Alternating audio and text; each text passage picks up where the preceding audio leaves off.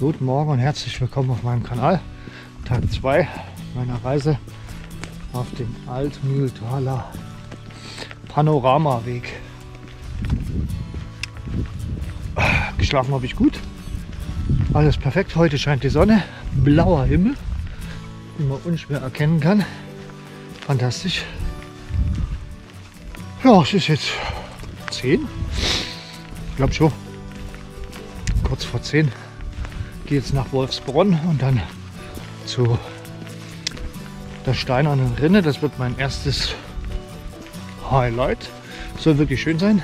Erzähle ich nachher noch ein bisschen was zu. Jetzt geht es hier natürlich an der Landstraße entlang, aber ich glaube heute zum 6. Januar, zum Feiertag zu den Heilig Drei Königen, ist erstmal eine Wanderung, Pilgerreise nicht verkehrt und wird nicht so viel Verkehr sein. Sieht auf jeden Fall schön aus. Es hat nachts wieder ordentlich Frost gehabt. Es ist alles weiß, wie du siehst. Ja, die Tour ist heute so ja, wieder roundabout 20 Kilometer, ein bisschen mehr glaube ich. 22 bis auf Treuchtling zum Bahnhof und da fahre ich dann wieder nach Hause. Weil morgen darf ich wieder Geld besorgen, damit ich das nächste Mal wandern kann. Weil ich um Arbeiten geht. So gesehen, schauen wir mal. Ich lasse mich überraschen, heute gibt, aber schon aufgrund des Wetters, ich habe sehr gut gefrühstückt. Oh, lecker. Highlight nebenbei gab Käsekuchen zum Frühstück.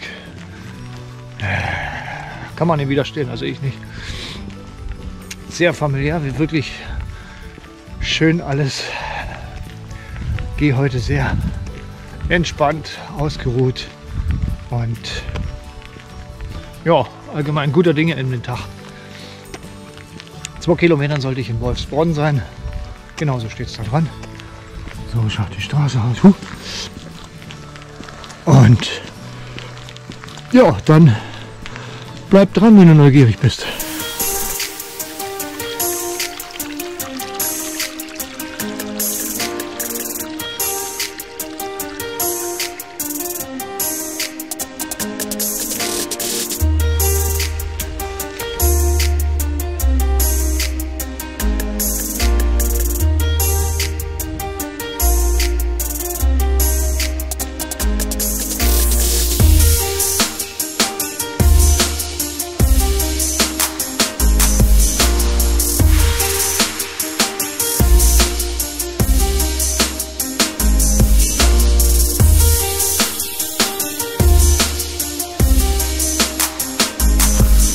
So, um mal wieder ein bisschen aktuell zu sein.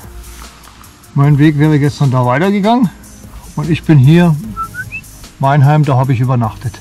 Jetzt bin ich hier diese Straße nach Wolfsbronn gelaufen, gehe jetzt hier rein zur Steinernen Rinne, schaue mir das an, dann wieder zurück auf meinen Weg auf den E8 ist es wohl.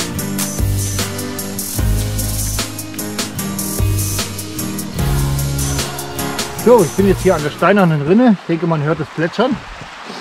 So schaut es aus. Diese steinerne Rinne ist 130 Meter lang. Mal so machen, dass man mich sieht. 130 Meter lang, teilweise bis zu 1,60 Meter hoch und teilweise unten am, an der Basis bis zu 1,60 Meter breit. Entstehen kann dieses Teil durch die Ablagerung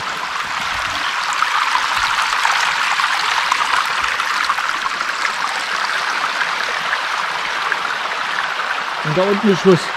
Bin jetzt sozusagen am Anfang, am Unterlauf.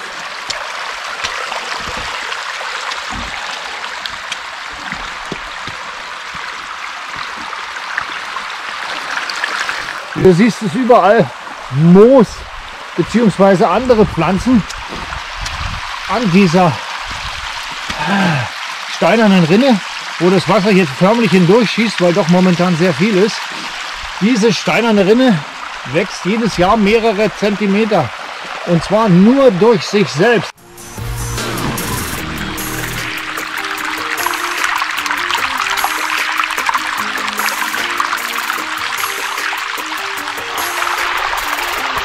Ich bin total begeistert. Ein Vorteil hat es heute, dass es in der Früh noch ziemlich gefroren ist. Und zwar dieser aufgeweichte, schlammige Boden im Wald ist auch noch gefroren. Ist bei weitem nicht so rutschig. Gar nicht so schlecht. Die Luft ist frisch. Ich bin noch richtig. Jetzt geht es natürlich gleich erstmal hoch auf den, denke ich mal, Hauptkamm des Hahnkamm.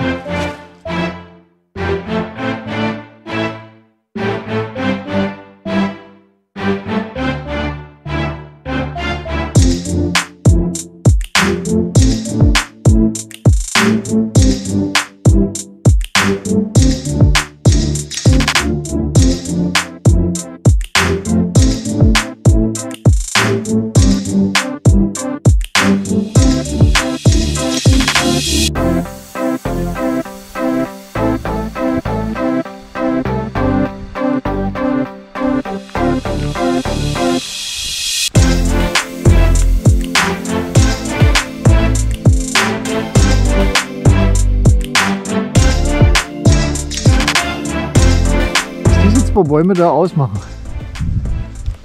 Die werfen den ganzen Vormittag Schatten. Es ist Mittag 12. Naja, und hier, wo ihr Schatten ist, ist alles schön. Oh, ein paar Steinchen. Oh, das ist das Dampfen. Herrlich, oder? Perfekt. Ja, scheint die Sonne oh, so richtig drauf tropft von den Sträuchern. Der gefrorene Nebel von gestern. Einfach schön, oder?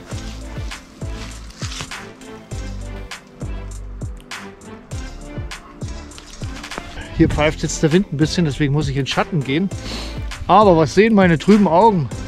Erste Mal auf diesem Wanderweg. Tada! Bank mit Tisch. Perfekt zum Rasten an einem schönen Platz. Gut, hier ist der Wind ein wenig active, aber oh, exponierte Stelle.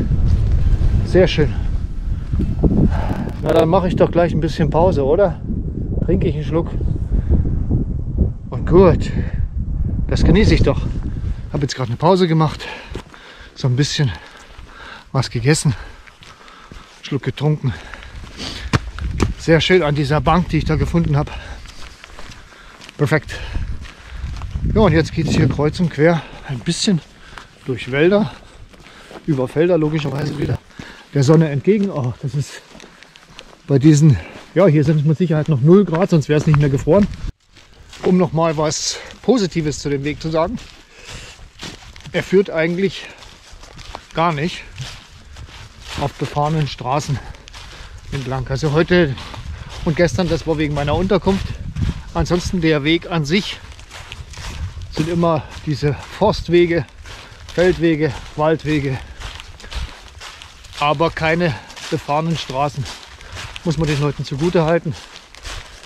Nicht wie bei anderen Wegen, dass das mal kilometerlang, teilweise sogar an viel befahrenen Straßen geht. Das haben wir hier nicht.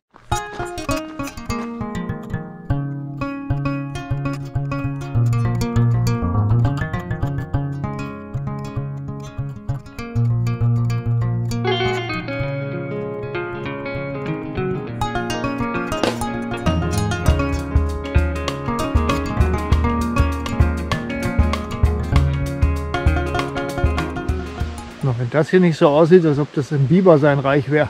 Und hier haben wir die Biberburg. Wie schaut die aus? Genau. Da hinten ist mit Sicherheit noch eine. Ja, da ist noch eine. Aha. Also was ich letztens im Heutal gesehen habe, setzt sich hier fort und da ist sogar die halbe Wiese überschwemmt da hinten. Schön. Vielleicht nicht so schön für den Bauern, der hier die Wiese hat. Aber mei, so ist es halt.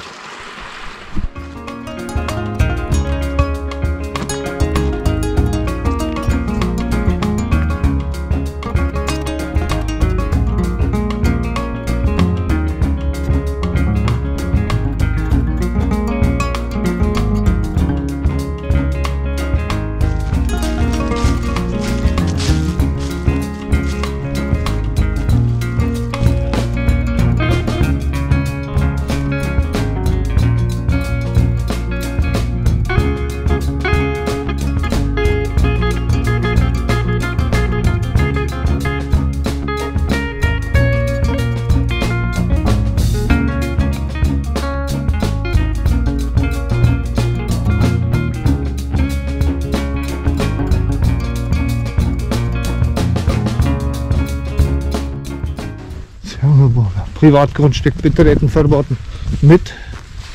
Es wird wahrscheinlich mal ein Wassergraben, Ringwall. Cool gemacht, oder? Finde ich cool. Gibt's was? Kann man reingucken? Durch einen Ritz? Durch Ritzen gucken ist nicht verboten. Gucken wir mal. Sehen wir da was? Steht ein Auto drin. Wollen wir sie mal in Ruhe lassen, die Brüder. Ich da meine Ruhe haben wollen. Sehr schön. Verkohlte Stämme. Aha, vielleicht war das früher so. Keine Ahnung. Aber Abstecher wert. Das erste Mal, dass ich nie aufgepasst habe. Ich komme hier an diesem Acker raus, diesen Weg, den ich euch gerade gezeigt habe. Original geht er da raus. Shit! Das erste Mal habe ich ein Schild übersehen. Was mir auf normalen Wegen eigentlich öfter passiert. Nur hier war es bisher nicht so. So, die letzten fünf Kilometer hier am Feld entlang. Dann bin ich in Feuchtling. Ich glaube, essen werde ich nichts mehr. Ich bin immer noch satt von meiner Brotzeit dazwischen, von dieser Schnitzelsemmel von gestern und dem reichhaltigen Frühstück. Und deswegen glaube ich, ich laufe jetzt durch. Etappe 2 ist wesentlich besser als Etappe 1. Tisch und Bänke, da oben eine Bank und hier noch eine Bank. Wow, echt stark.